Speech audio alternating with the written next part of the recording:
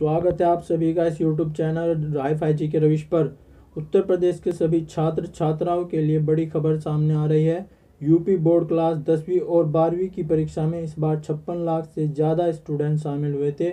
अब इन लाखों छात्र छात्राओं और उनके अभिभावकों को परीक्षा के रिज़ल्ट का इंतज़ार है। लेकिन इसी बीच एक सर्कुलर सामने आ रहा है, जिसमें कहा जा रहा है कि यूपी बोर्ड इस बार रिज़ल्ट जारी नहीं करेगा। बिना रिज़ल्ट के ही सभी स्टूडेंट को क्या जाएगा पास? दोस्तों, ये खबर बिल्कुल फ्रॉड है, फेक है। सही खबर जानने के लिए हमारे यूट्यूब चैनल पर बने रहे। उससे पहले दोस्तों, आपसे छोटी सी गुजारिश है, हमारे चैनल को सब्सक्राइब करें, वीडियो को लाइक करें, वीडियो को शेयर करें और कमेंट करें। वीडियो के अंत में दोस्तों बताऊँगा कि आप अपना रिज़ल्ट अपने मोबाइल पर एसएमएस के द्वारा कैसे प्राप्त कर सकते हैं। जी हाँ दोस्तों, सिर्फ़ एक एसएमएस के द्वारा आप अपना रिज़ल्ट अपने मोबाइल पर कैसे प्राप्त करेंगे, इस इस वीडियो के लास्ट में बताऊँगा। आप सभी को देखते रहिए वीडियो अंत तक। इस समय मैंने पत्रिका न्यूज़ की ऑफिशियल साइट खोल रखी है। दोस्तों, चलिए देखते हैं यहीं से, क्योंकि हमें मिलेगी एकदम सौ परसेंट सही खबर। चलिए पढ़ते हैं। अब अप्रैल में नहीं आएगा यूपी बोर्ड रिज़ल्ट। बंद की गई कॉपियों की चेकिंग। जी दोस्तों, कॉपियों की चेकिंग बंद कर दी गई है। जानते हैं आगे कब आएगा रिज़ल्ट। देखते हैं। कोरोना वायरस के चलते यूपी बोर्ड परीक्षा 2020 की कॉपियों का मूल्यांकन फ़िलहाल 2 अप्रैल तक रोक दिया गया है। Lucknow UP board result 2020 corona virus के प्रभाव के चलते यूपी बोर्ड परीक्षा परीक्षा की हाई स्कूल और इंटरमीडिएट की कापियों का मूल्यांकन फ़िलहाल 2 अप्रैल तक रोक दिया गया है। Deputy CM doctor Dinesh Sharma ने ये आदेश जारी किया कि दरअसल सोमवार से शुरू हुए मूल्यांकन के पहले दिन 41 प्रतिशत शिक्षक कोरोना के डर से कापी जांचने मूल्यांकन केंद्र नहीं पहुँचे।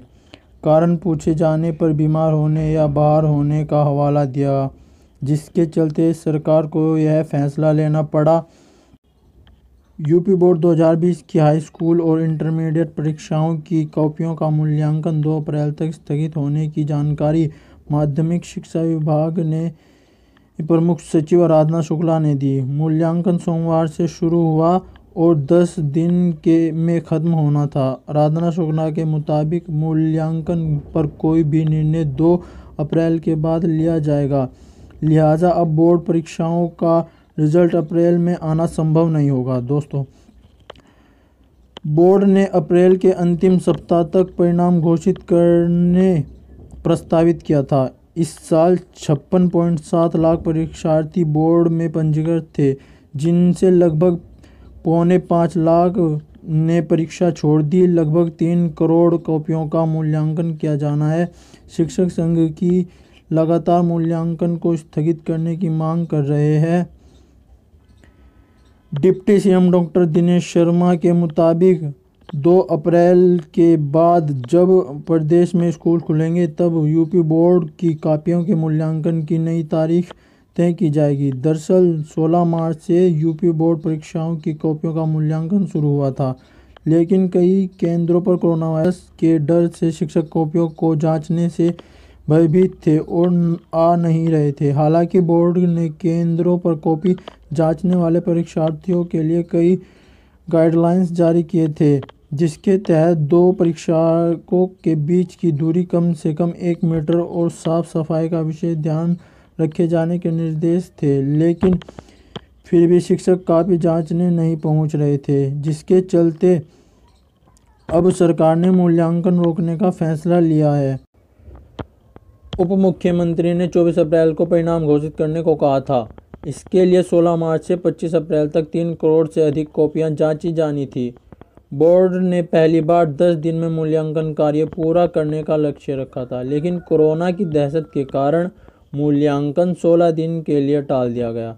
24 अप्रैल से 16 दिन जोड़ ले तो 10 मई के आसपास परिणाम घोषित उम्मीद की जा सकती है। लेकिन यह भी उसी स्थिति में संभव होगा जब तीन अप्रैल से मूल्यांकन दोबारा शुरू होगा। जी दोस्तों 10 मई के आसपास आप सभी के परिणाम घोषित कर दिए जाएँगे।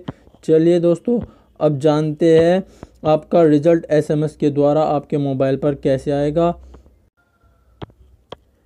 एसएमएस के ज़रिए चेक कर सकते हैं रिज़ल्ट स्टूडेंट अपना रिज़ल्ट एसएमएस के ज़रिए चेक कर सकते हैं। एसएमएस के ज़रिए रिज़ल्ट चेक करने के लिए बारहवीं के स्टूडेंट यूपी बारह स्पेस रोल नंबर लिखकर छप्पन छब्बीस तीन पर भेजें। वहीं दसवीं के स्टूडेंट यूपी दस स्पेस रोल नंबर टाइप करके छप्पन छब्बीस तीन पर भेजें। दोस्तों, अगर आप यह इंस्ट्रक्शन फॉलो करेंगे तो आपको आपके मोबाइल पर ज़रूर एसएमएस के द्वारा रिज़ल्ट प्राप्त हो जाएगा। वीडियो कैसी लगी दोस्तों? इसे लाइक करें, हमारे चैनल को सब्सक्राइब करें। ऐसी महत्वपूर्ण जानकारी प्राप्त करने के लिए आप हमारे चैनल पर जुड़े रहे। चलिए, मिलते हैं आपसे अगली वीडियो